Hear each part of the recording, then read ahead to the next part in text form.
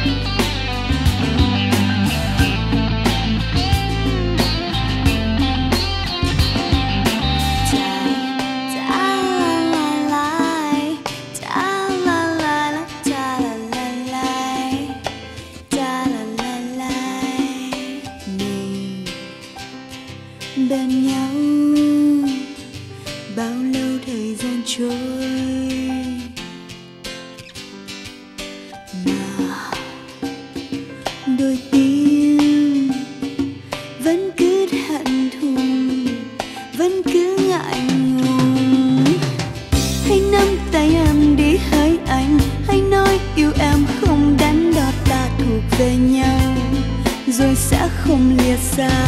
Trọn đời hãy nhắm đôi mi trao chiếc hôn hãy lắng tai nghe tim thiết tha ta thuộc về nhau, rồi sẽ không lìa xa. Mãi mãi.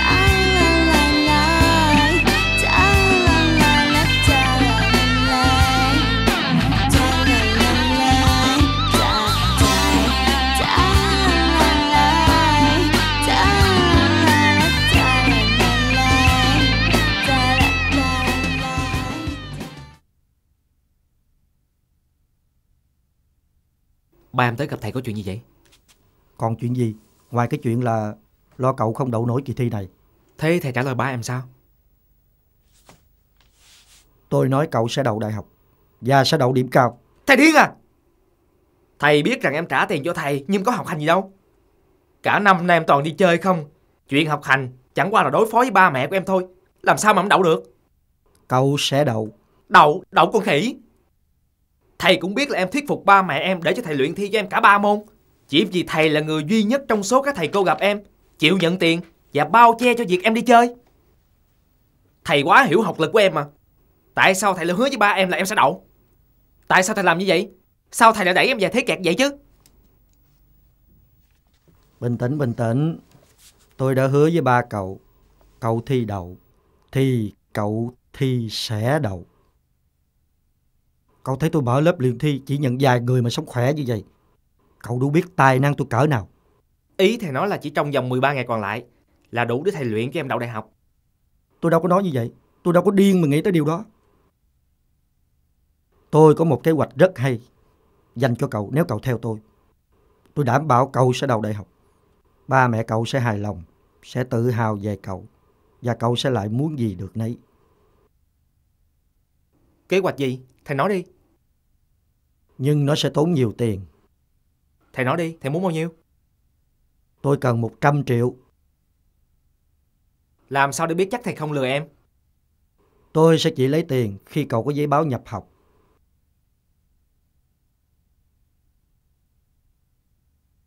Được Cách gì Có nhiều cách.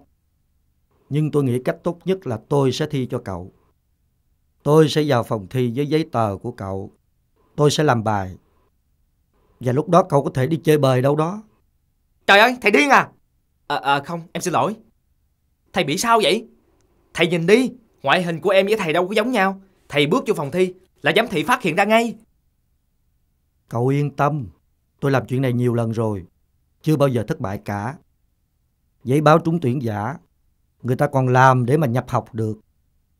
Chuyện thi hộ nhỏ xíu. Nhầm nhò gì. Cậu thấy sao? Nếu cậu thấy đưa một lúc 100 triệu khó khăn thì tôi sẽ lấy trong vòng 6 tháng. Tôi biết những công tử nhà giàu như cậu biết cách bóc túi ba mẹ mình lắm. Em không lo vụ tiền Em lo kế hoạch thất bại Ba em sẽ biết Trời ơi, tôi không nói, cậu không nói thì làm sao ba mẹ cậu biết được?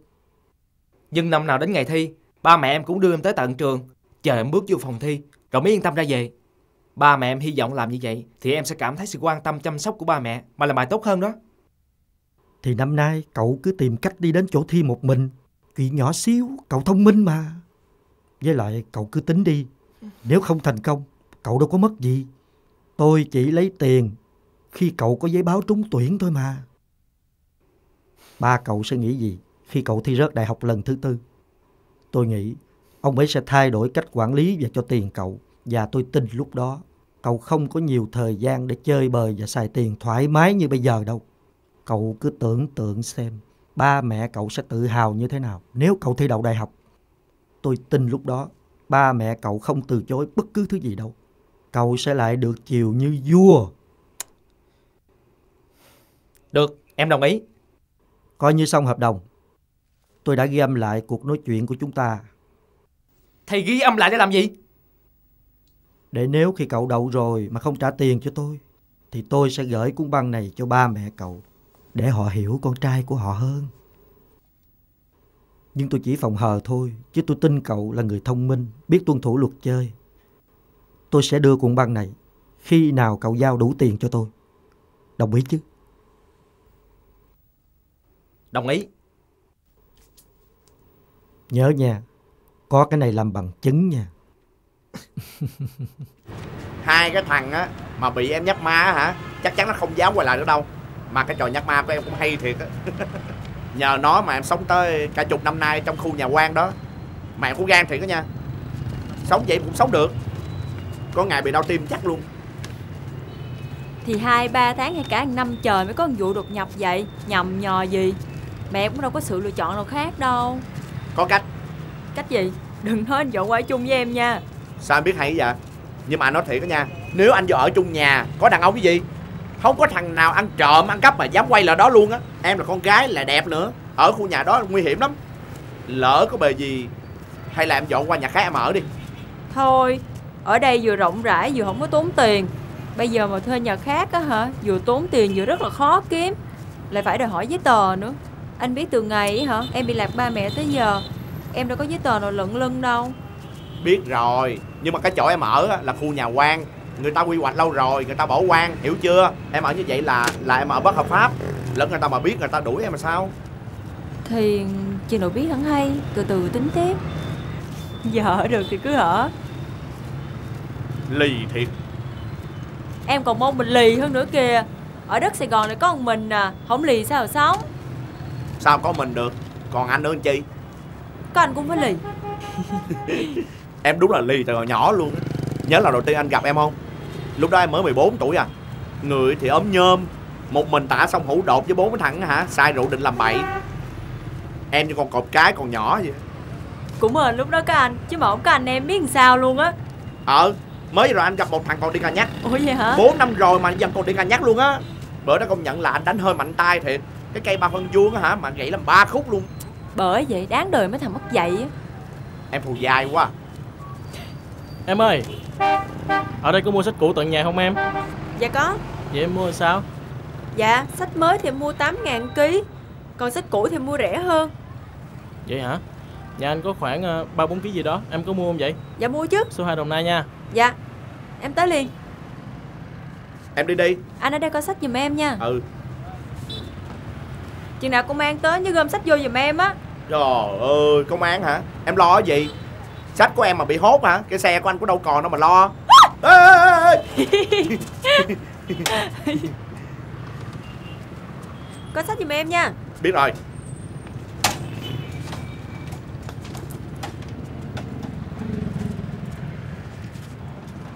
Em đi nha lấy giùm em cái cân đi. Ê, ê, ê. Đi nha. Rồi bye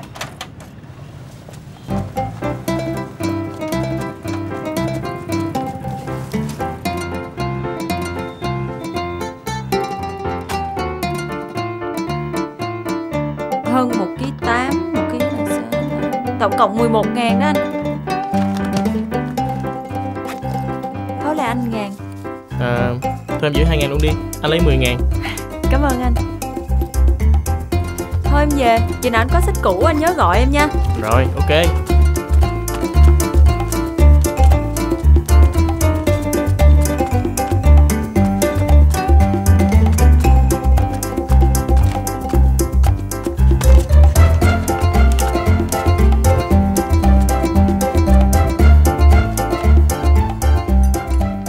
Sếp Nam đi đâu lâu quá Đừng nói bị bắt ở nhà học luôn rồi nha. Có gọi điện cho Nam biết là tụi mình ở đây chưa? Gọi điện thoại rồi, nói lát nữa tới liền á. Ê! Ê kìa, Linh thiệt, nhắc cái tới liền. Êm không anh? Em. Trời tụi em tưởng sếp bị bắt ở nhà rồi chứ. Ngu gì? Ê có nhỏ nữ sinh trốn học đẹp quá. Con nhỏ tác mình. Ê đi đâu vậy? Có em đây mà dám giở trò cô gái hả? Không phải cua Con nhỏ tác anh hôm qua. Thiệt không? Anh ra gặp nó hỏi cho ra lẽ Con nhỏ xinh vậy mà dữ thiệt. Hôm qua sếp nói đẹp lắm Tưởng sếp đùa. Kệ Ai đó. về đẹp thiệt. Được rồi đẹp tác đào Dẫn sướng. Trời. Cô kia đứng lại. Anh làm cái gì vậy? Buông ra Giải thích rõ ràng tôi sẽ buông. Buông ra. Cô phải giải thích rõ ràng tại sao tác tôi tôi mới buông?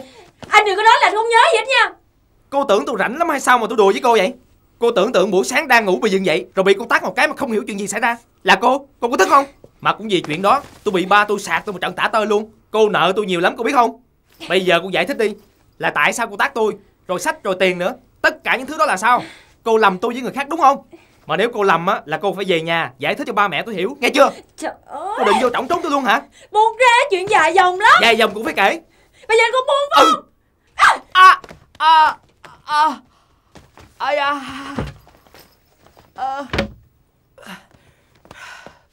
Cô tưởng cô trốn mãi trong đó được hả? Tôi sẽ đứng đây chờ cô tới sáng luôn để coi tôi với cô ai gan hơn. Ui da, Đau quá má ơi.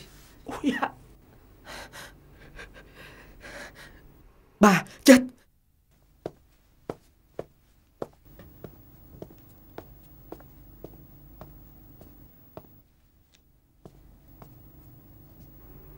Sao mà trùng hợp kỳ lạ vậy?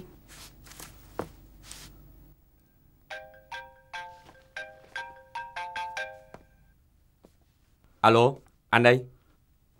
Anh mới tới gặp thầy giáo của Nam rồi. Trời ơi, em biết thầy giáo của Nam nói gì không?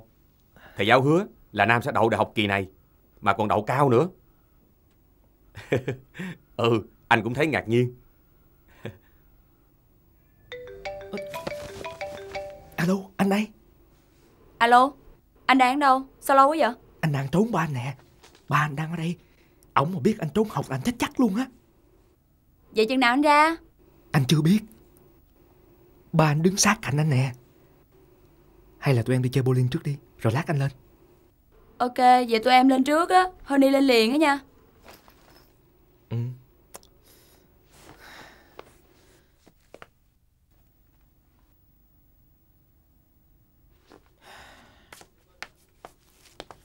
Anh làm gì đây? Sao biến thái quá vậy? Cô! Ba Ủa, sao con lại ở đây? Con đang học mà. con, Bác. con Con trai bác tự nhiên có xong như nhà sinh nữ à Con, con ra đây nói chuyện với ba. Con đi luôn nha bác Con xuống quán cà phê đợi ba. Ba có việc phải đi gấp. 10 phút nữa ba gặp con.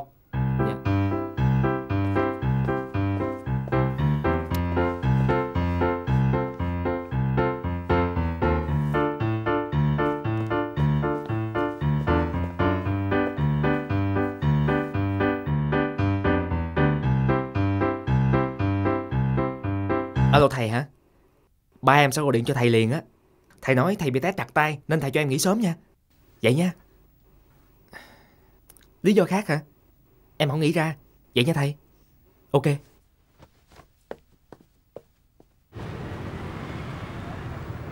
Ba Con gọi cà phê sữa đá cho ba rồi nè. Thầy giáo con trật tay như vậy, có dạy được không?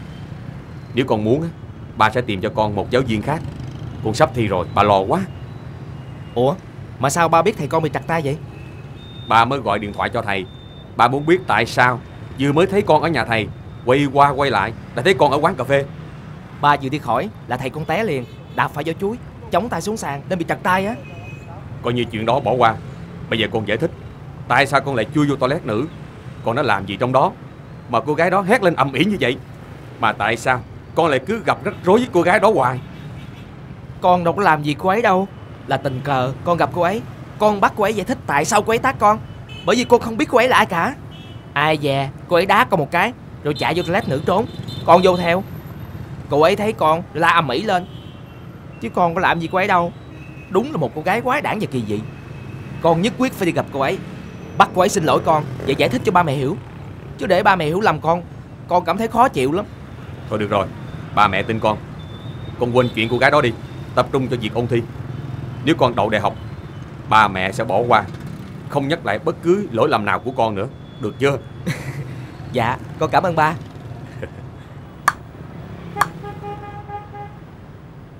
Yêu là chết ở trong lòng một in Vì mấy khi yêu mà đã được yêu.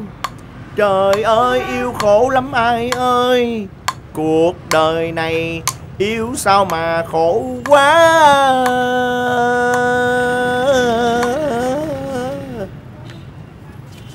Về rồi hả? Nè Mới bán cho em ba cuốn được 21 ngàn nè. Nè Gì vậy? Sao mặt quạo vậy? Đừng nói thằng bán sách nãy nó dê em nha. Mặt thằng đó hiểm muốn chết luôn á. Không là chuyện khác. Chuyện gì Có cái thằng biến thái nó theo em vô toilet nữ. Trời đất ơi. Cũng hơi lim la lên hông là tiêu rồi. Thằng khốn nạn nào vậy? Có anh ở đó hả? Đập chết mẹ nó luôn rồi đó. Cái thằng con nhà giàu đẹp trai biến thái. Ủa em quen nó hả? Cái thằng mà anh kể cho anh nghe rồi đó. Cái thằng mà em tới nhà tác cho nó bật tay đó. Cái thằng đó đó hả? Ừ. Được rồi Để anh tới nhà nó đập cho một trận. Ba má nó nhìn nó không ra luôn. Cho bỏ cái tật biến thái đi theo con gái vô toilet. Để đó anh. Thôi khỏi. Ba nó biết rồi Chắc chắn giờ này nó đang bị ba nó chửi cho te tu luôn. Cho nó chết bà luôn đi. Ủa mà sao thằng đó theo em hoài vậy? Lúc đầu á Nó chặn em ở cửa toilet nữ. Đòi em giải thích là Tại sao em tác nó. Ờ Cái thằng biết ghét Bày đặt ngây thơ. Rồi nó còn nói em là Nó hỏi em á hả Là không biết em có tác nhầm người không nữa. Rồi kêu em đi về giải thích cho ba mẹ nó nghe Là em tác nhầm nó. Bày đặt diễn kịch hả?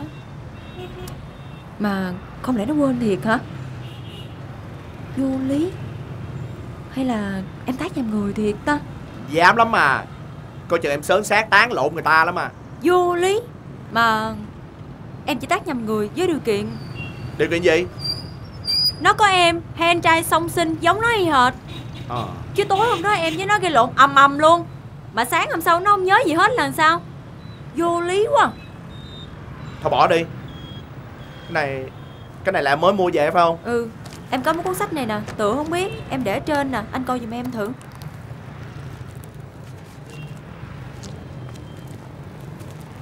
Ba cuốn này nè. Hai cuốn này phải không? Ừ.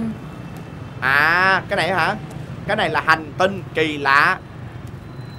Ờ cái này là ờ, Kẻ nợ đời. À, Gì vậy? Em biết em biết rồi. Gì vậy? Đi. Gì Đi vậy giúp em đi. Gì vậy? Gì? Em làm gì vậy? Em giải quyết xong em về em kể anh nghe. À, Đi đâu Trời ơi.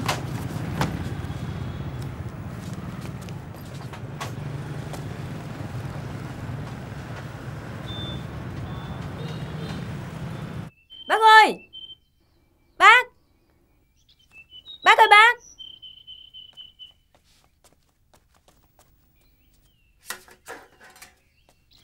Con chào bác. Có chuyện gì hả cháu?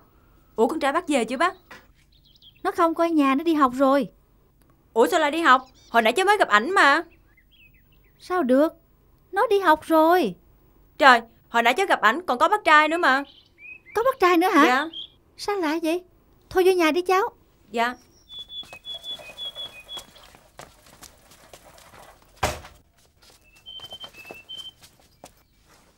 Vô đây.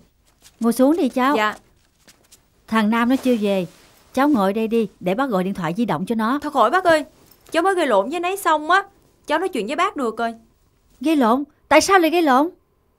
Thì cũng có chuyện bữa trước á Anh ấy cứ đòi cháu giải thích là tại sao cháu lại tác anh ấy Cháu tưởng anh ấy giả vờ không hiểu Cho nên cháu đá anh ấy một cái Sao? Cháu đá nó nữa hả? Dạ Rồi sao nữa? Rồi nếu nhào vô nhà vệ sinh nữ tìm cháu Cháu sợ quá cháu phải la ôm sòm lên á Rồi chuyện gì xảy ra nữa? Hai đứa đánh lộn à? Dạ không Nhờ có bác trai cho nên cháu mới chạy thoát được á Trời ơi, may quá.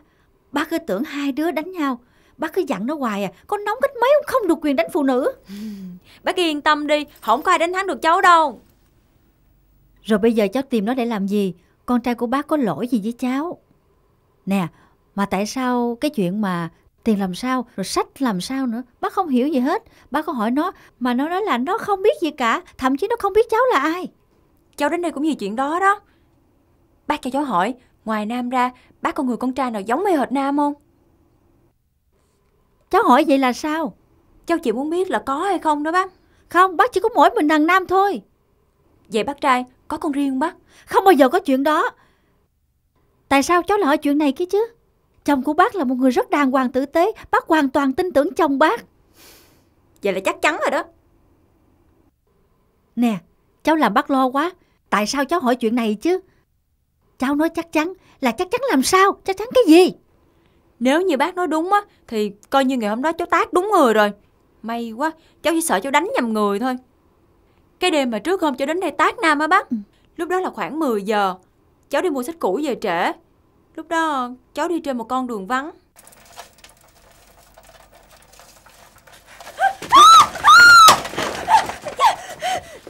Tên kia đứng lại coi, làm đổ sách Buông ra, sao tụi mà nó bỏ tới chạy kìa. hả? Làm gì mà coi được hả? Trời buông ra. đó xong rồi bỏ chạy hả? Buông ra tụi nó tới bây giờ á. Người nào tới? Mấy thằng giang hồ á. Cái gì? Không kịp đâu, chui vô đây đi. Chui vô Chui vô. Vô đây hả? Chui vô. Nhanh lên. Ê thằng kia Đứng lại. Làm ngã xe tao xong rồi bỏ đi luôn hả? Đứng lại. Mấy anh đuổi theo cái thằng bảo đèn phải không? Nó chạy hướng này nè. Nó làm ngã xe của em xong rồi chạy luôn. Mấy anh bắt nó về giùm em đi? Bắt nó về đường sách cho em đi. Nhanh lên Nhanh lên. Nó chạy lại lên mà nó chạy mất tiêu đó Ra đi Tụi nó chạy mất tiêu rồi. Thui quá Trời ơi, tụi rác cũng thúi, còn gì thúi nữa. Mà sao anh bị tụi kia đuổi vậy? Ờ thì tại nhậu xỉn Cái lộn với bằng kế bên. Tôi đi nha Cảm ơn cô. Đi đâu vậy? Đi đón taxi về nhà. Sao mà đi được? Qua đây. Coi nè, Chuyện gì vậy? Anh coi nè Anh làm đổ xe của tôi, sách của tôi giờ hết trơn mà anh đòi đi làm sao? Ôi trời. Tưởng gì? Mấy cuốn sách cũ Tưởng gì ghê gớm. Thôi được rồi Nè. Cô cầm đi. Tôi bồi thường cho cô á. Dư á Nhưng mà cô cứ giữ hết đi. Coi như là tôi trả ơn cô cứu tôi. Đi nha Taxi! Taxi!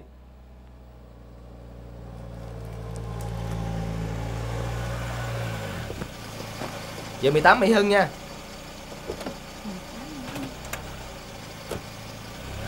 Mà thôi ra vũ trường Abo đi.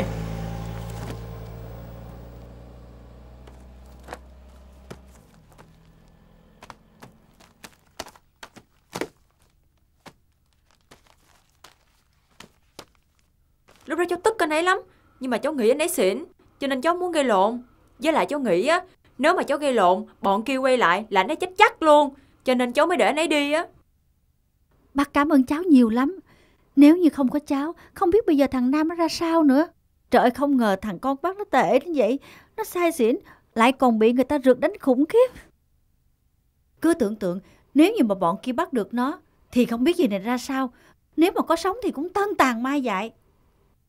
Bác cảm ơn cháu, cảm ơn cháu nhiều lắm. Bác xin lỗi cháu. Cháu đã cứu con trai của bác, vậy mà nó còn xúc phạm đến cháu. Nó tệ quá, không ngờ thằng con trai của bác nó tệ đến như vậy. Lúc đó cháu chỉ tính mắc đời nên ấy số sách bị dơ thôi Ai ngờ nấy cư xử như vậy Anh ấy đưa cháu tổng cộng là 1 triệu Cháu trừ đi số sách bị dơ là 125 ngàn, Cộng với tiền sửa xe nữa 15 ngàn là 140 ngàn Cháu gửi lại cho anh ấy số tiền dư, Số sách bị dơ với lại một cái tác Để anh ấy nhớ lần sau không có cư xử với người khác vậy nữa Cháu làm như vậy là đúng đó. Bác cảm ơn cháu đã cho con trai bác một bài học và cho bác biết sự thật về con trai của mình. Khủng khiếp quá.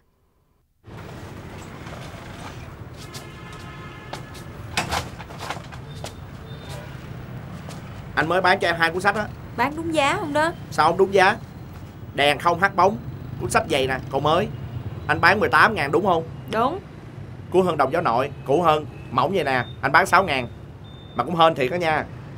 Anh tài quá luôn á. Anh ngồi ở đây hả? Bán được tới 5 cái trong trống luôn chứ bộ Ủa mà nãy khách đến đây quen hay là khách lạ? Khách là quắc à. Kìa cô đang ngồi đọc đẳng kìa. Nè tiền nè. Ủa mà sáng giờ em đi đâu mà anh thấy em gấp gấp gáp gáp vậy? Đi đến nhà cái thằng mà sáng em kể anh nghe đó. Tới đó làm gì? Làm sáng tỏ mọi chuyện. Rồi có sáng nổi không? Sáng như ban ngày luôn. Em tác đúng người rồi. Em kể cho ba mẹ nó nghe luôn rồi. Lần này nó chết chắc. Em cũng ghê thiệt đó nha. Mà thôi Tới giờ tan học rồi anh phải đi á. Vậy hả? Thôi đi đi để em bán Anh đi à nha.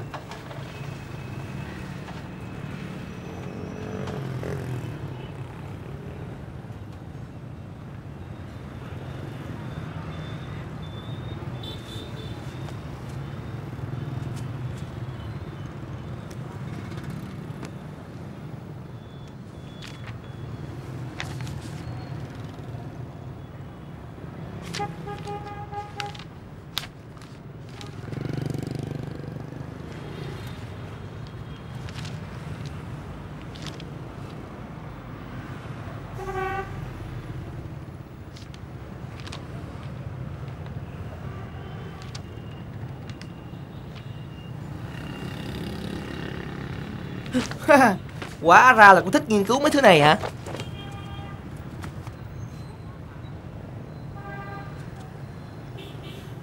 Cô, đúng đứa con gái rắc rối nhất và quái nhất mà tôi từng gặp. Mà sao cô cứ theo ám tôi hoài vậy hả? Lúc ở đây mình Tôi yêu cầu cô giải thích rõ mọi chuyện mà cô không chịu. Lại còn mà đặt dở trò điên khùng, Làm tôi bẻ mặt rồi bỏ chạy. Tưởng là xong, Ai ngờ cô chạy tới nhà, Kể cho ba mẹ tôi nghe một chuyện điên khùng. Bây giờ ở nhà, Mẹ tôi khóc lóc ông sầm cả. Ba tôi đang nổi điên lên cả Sao cô bịa ra chuyện đó để hại tôi vậy? Ủa tôi cứu anh Anh cảm ơn tôi Thôi sao lại chửi tôi? Anh vô ơn thiệt á. Biết vậy Bữa đó tôi để tụi nó đánh anh cho chết luôn cho rồi. Vậy có nghĩa là cô vẫn khẳng định Cái câu chuyện cô kể với mẹ tôi là có thật á hả? Ừ. Cô trơ tráo thật á. Có mặt tôi ở đây Mà cô dám bịa ra một câu chuyện trắng trợn như vậy. Có Có sao tôi không nhớ hả? Trời ơi Anh không nhớ Đâu có nghĩa là không có chuyện đó xảy ra. Cô ăn nói ngang ngược quá ngang như cua á. Hay là cô làm tôi với ai? Đúng rồi Cô về nhà nói với ba mẹ tôi là cô làm tôi với ai đi. Tôi không làm Chắc chắn là lầm mà. Không. Sao cô chắc là không làm Tôi đã loại trừ mọi khả năng lầm rồi Nên không thể nào lầm được. Không lầm? Sao tôi không nhớ gì hết? Ủa Anh không nhớ là chuyện của anh? Kệ anh chứ Tôi chỉ biết là tôi không có lầm với ai hết trơn á. Cãi với cô mệt quá. Thôi được rồi cứ cho là cô không làm đi. Vậy cô thử tả xem là Tối hôm đó tôi mặc bộ đồ gì? Trời ơi Anh mặc quần jean xanh nè Với lại cái áo thun màu đen có cái hình gì bự bự trước ngực sặc sỡ nè Đúng không? Ừ đúng tôi mặc bộ đó. Vậy tin tôi chưa? Chưa. Ủa sao kỳ vậy? Tôi tả trúng phóc mà không tin tôi là sao? Anh mới là giống con cua hơn tôi ấy nha Tin sao được mà tin? Lỡ cô biết chính xác tối hôm đó tôi mặc bộ đồ ấy Rồi bịa ra câu chuyện đó thì sao? Tôi bịa ra chuyện đó để làm cái gì? Tôi hại anh để làm cái gì? Ai mà biết được Có đàn ông biến thái Thì cũng có phụ nữ biến thái vậy. Anh dám nói tôi biến thái hả? Ê, Anh dám nói tôi biến khoan, thái khoan. hả? Lúc ở trong toilet Cô nói tôi là đồ biến thái Cô gọi tôi là đồ biến thái được Thì tôi cũng gọi cô là đồ biến thái được Vậy thôi. Tôi, tôi kêu anh biến thái là tại vì anh biến thái. Còn anh không được kêu tôi biến thái. Vô lý. Cô kêu tôi được Thì tôi kêu cô được Đúng không? Anh biến thái Còn tôi thì không. Anh mà còn dám kêu tôi biến thái nữa Tôi đánh anh bây giờ đó. Thôi được rồi. Cô là người bình thường được chưa? Được. Rồi. Cứ cho là cô không bị chuyện đi. Cô không cố tình hại tôi đi. Cô cũng không bị biến thái nữa. Vậy tại sao tôi yêu cầu cô giải thích lý do cô tác tôi mà cô không chịu giải thích? Mà còn về nhà kể cho ba mẹ tôi nghe câu chuyện đó nữa Cô giải thích sao về chuyện này. Lúc đầu á Tôi đâu có tin là anh không nhớ gì đâu. Tôi nghĩ là anh sợ ba mẹ anh biết Cho nên không dám thú nhận. Chuyện mới xảy ra hồi tối Sáng hôm sau không nhớ gì hết. Vô lý Ai mà tin được? Thì đó giờ mọi chuyện như vậy đó Cô giải thích làm sao? Tôi nghĩ chỉ có một cách duy nhất thôi Là tại vì tối hôm đó anh uống nhiều quá xỉn Nên sáng hôm sau vậy không nhớ gì hết đúng không? Tôi chưa bao giờ xỉn mà sáng dậy không nhớ gì hết à. Ủa Nãy giờ tôi giải thích vậy, Coi như không được gì hết hả?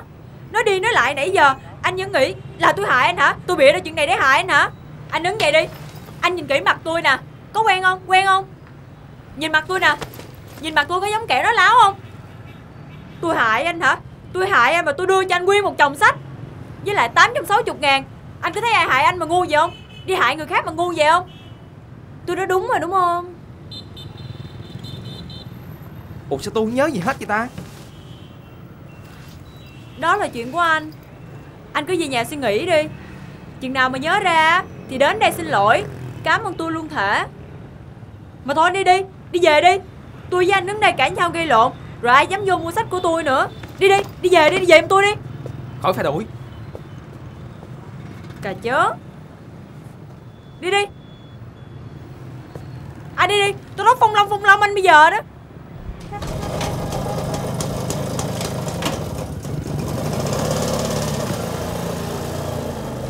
Lớn vô duyên Sáng sớm. Đến phiền tới bán hàng. Vô duyên. Bực cái mình. Không có cô gái ấy Thì đâu tưởng tượng nổi. Mỗi khi ra khỏi nhà Con mình sẽ làm điều gì? Khủng khiếp quá. Nó vượt ngoài sức tưởng tượng của anh. Anh à, thằng Nam làm sao mà nó hư vậy được chứ? Những thông tin gì thì mình mới chỉ nghe cô ấy nói một chiều thôi. Nó nói là nó không có làm. Bộ anh không thấy sao? khiêm kể chuyện đó, mặt nó ngơ ngác đến tội nghiệp à. Nó đòi đi gặp cô ấy và nói rằng là cô ấy đã sai. Hoặc là cô ấy lầm lẫn, hoặc cô ấy bịa chuyện. Nó đòi là đưa cô ấy bằng được về đây để mà đối chứng. Anh bình tĩnh đi mà.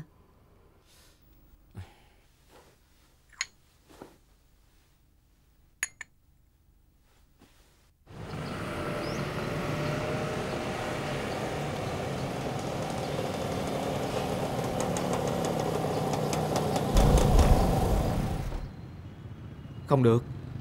Giờ này mình về nhà mà không có cô ấy. Chẳng khác nào mình thú nhận với ba mẹ rằng những gì cô ấy nói là đúng. Trời ơi, Kỳ này mình chết chắc rồi. Phải nghĩ ra cái gì mới được? Nam mày suy nghĩ đi. Bình thường mà thông minh lắm mà.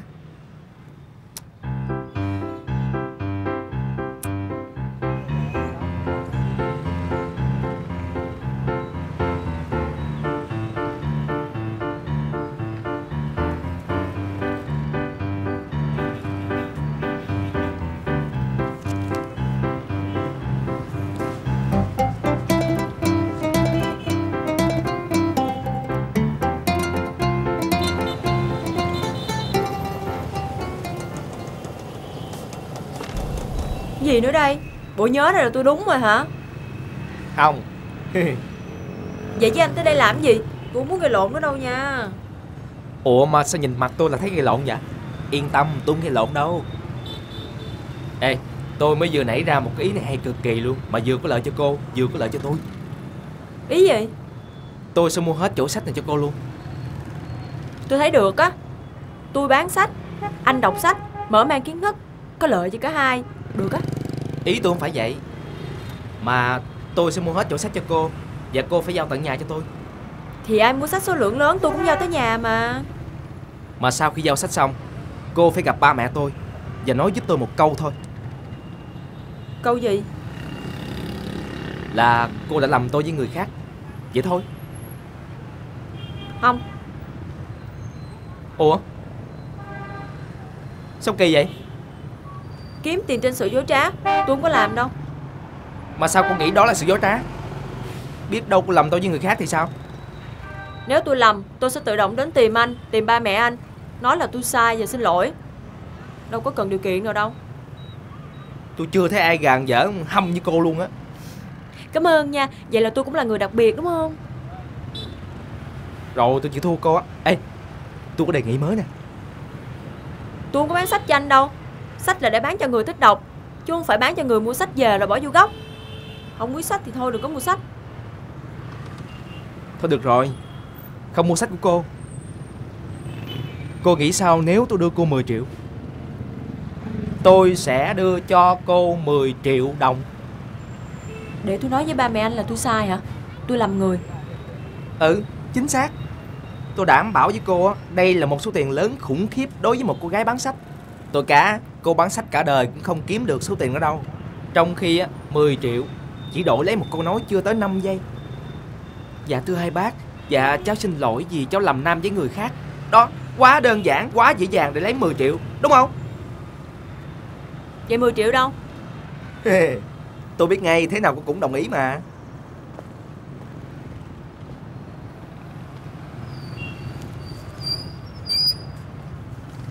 Nè Ủa tiền gì vậy? Đô la Mỹ 700 đô Tương đương với hơn 10 triệu. Tôi tôi dư cho cô luôn á. Rồi bây giờ lên xe tôi chở đi. Sao được? Tôi phải lo xong đống sách này mới đi được. Để đây mất còn sao? Anh về trước đi tôi tới liền tôi đi bằng xe tôi. Không được. Tôi phải đi cùng với cô. Lỡ cô lấy tiền xong trốn luôn thì sao? Thôi được rồi cô dọn sách để tôi chờ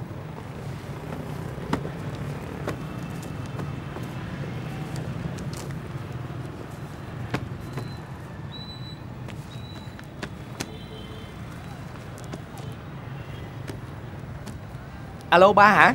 Dạ dân con đây. Ba ơi, chút xíu nữa quẩy về nhà giải thích với ba mẹ mọi chuyện. Dạ vâng, dân 20 phút nữa. Dạ dạ con chào ba.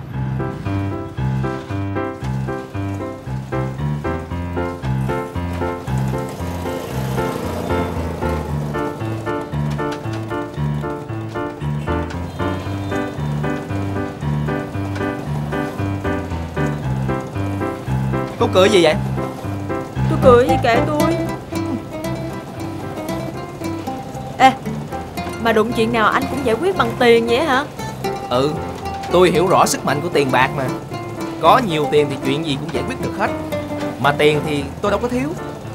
Ủa Mà tự nhiên cô đưa tôi 860 ngàn chi vậy? Vì tôi biết á Sẽ có ngày tôi sẽ lấy lại được 10 triệu từ anh. Cô cũng ghê thiệt ha. Mà cô định xài 10 triệu cho chuyện gì vậy Trời anh yên tâm đi. Tôi không có xài tiền hoang phí như anh đâu. Tôi biết sử dụng 10 triệu đúng mục đích mà. Chúc cô may mắn nha. Hy vọng là sau khi gặp ba mẹ tôi Cô sẽ biến mất khỏi cuộc đời tôi luôn. Yên tâm Sau khi mà gặp ba mẹ anh đó hả? Tôi không bao giờ kiếm anh nữa đâu. Cảm ơn. Nhưng mà biết đâu Anh quay lại kiếm tôi mới chết chứ. Trời Không bao giờ Tôi kiếm cô chi vậy? Bao nhiêu rắc rối cô gây ra cho tôi chưa đủ hay sao vậy? Trời Biết đâu sau vụ này Anh nhớ tôi hoài rồi sao? Không đời nào Tôi sẽ cố gắng xóa cô khỏi bộ nhớ của tôi càng nhanh càng tốt. Nhớ nha. Chắc chắn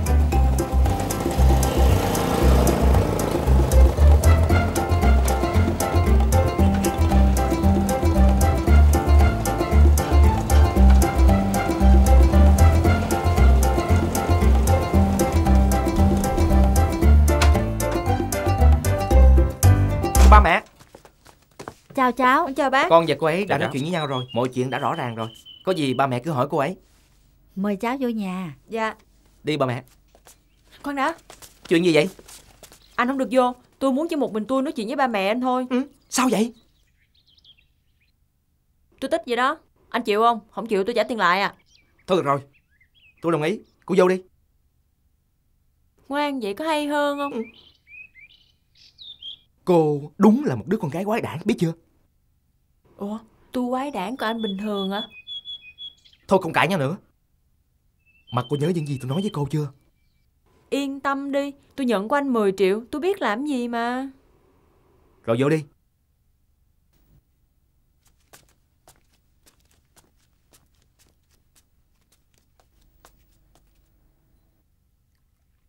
Ngồi xuống đi cha. Dạ Tại sao thằng Nam không vô cùng với cháu? Dạ Tại vì cháu muốn nói chuyện riêng với hai bác Cho nên cháu mới kêu Nam ở ngoài đợi. Bây giờ hai bác muốn nghe cháu giải thích Đầu đuôi mọi chuyện giữa cháu và thằng Nam. Dạ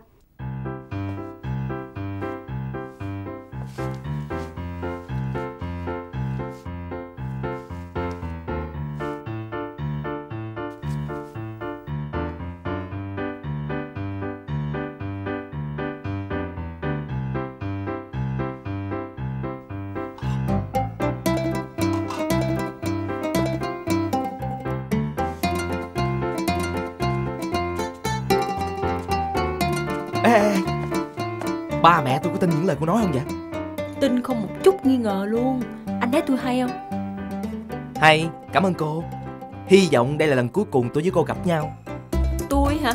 Tôi thì chắc chắn không muốn nhìn thấy mặt anh nữa rồi. Tôi chỉ sợ anh không quên được tôi Cho nên đến tìm tôi thôi. Trời Sao tự tin dữ vậy? Không bao giờ có chuyện đó đâu. Thoát được cô là tôi mừng muốn khùng rồi. Điên hay sao mà phải gặp cô vậy? Vĩnh biệt nha. Thôi cô về đi. Dính biệt anh